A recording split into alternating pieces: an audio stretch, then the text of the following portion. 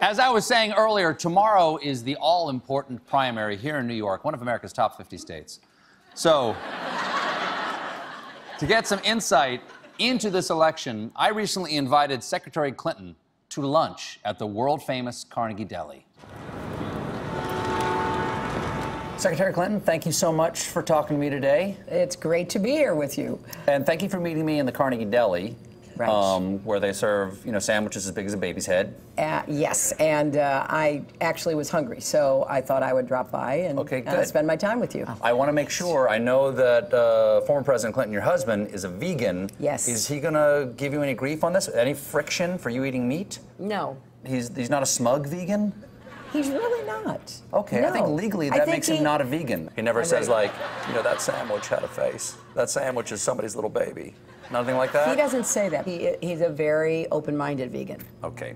What is the worst thing that you've had to eat at a public event? Uh, you don't have to say what state it was at, because we'll know it's Iowa. Right? no.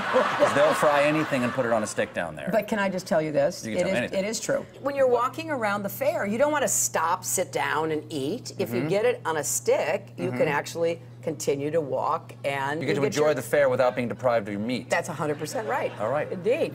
Politics seems to be about finding common ground. Right. Okay. Right. What do you have in common with your likely opponent, Donald Trump? Other than the fact they have beautiful daughters and you both were at his wedding. Well, I'm not sure yet. I'm just not sure what I have in common with him. However, when you are president and you're mm-hmm. working with the Congress, there are lots of opportunities to find common ground.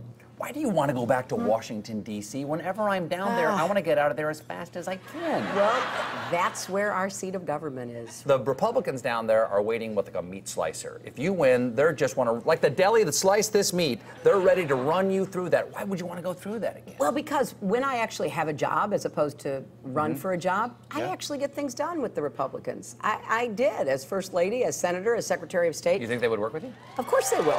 Can you Absolutely. have five dollars or whatever you're on right now? You can, you can have even 10 or 15. Really? This is just one of those efforts you have to get up and work on every single day. Mm-hmm. You have to be willing to find whatever common ground exists and then try to make something good happen. You're a grandmother and you've got another grandchild on the way, I understand. That's absolutely true. Congratulations. It is so exciting. Are you cool, Grandma? Are you going to let them eat whatever they want? I'm going to be a little subversive. How about your husband? Is he going to be cool, Grandpa? He is so head over heels in love with our granddaughter. But is he going to give them the snacks, or is he going to go, "Great news, we've got kale chips"? I think he's even more subversive than I am. really? Oh, yeah. Ice cream? Does he do any of that stuff? Does Well, go he doesn't, but I don't think he would deprive Yeah. his grandchild of that. By the way, how's my how's my impression? By the way, It's really good, actually. Very good. Is it Yeah, spooky? it is. Close your eyes. You don't know. Maybe he's here. okay. Last week here in New York, you went to Junior's, Right. And you didn't have any cheesecake. Why not? You said you wanted it, but you didn't want to eat in front of the press. What, Right. What's the deal?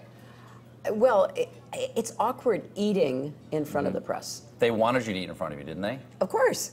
They Why? could get, well, because they could get a funny shot. Okay. You know, something could drop out of your mouth, it could smear your face. I mean, anything that makes you look silly is. There's a way to there's a way to eat cheesecake without looking silly. Okay, I wanna- very will you show me? Okay, I will. I'll try. Okay. Okay, first of all, you want to use a fork. Yes, that's okay. always good to use a fork. Got a fork. Yep. Then you want to take off just a little bit off the top right here. Okay. And then just eat as much as you want.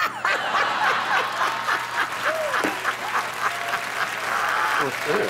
What could it? this is humanizing. This humanizes you in front of the And I, press. and I clearly have to do that. People love this. I know, I know. I, you have given me, Oh. you've given me a great way to think about how to do this mm-hmm. now. Then you offer this to the press. Would you like some of this? Yeah. Does anybody have any insulin? well, this has been lovely. Thank you so much. It's been a pleasure. Okay. I've enjoyed it a lot. Let's see what we got here. Uh, you okay split this? Sure. Okay. I'm fine with that. Say that. I'll be right back, okay? Okay. Okay. Great. Okay.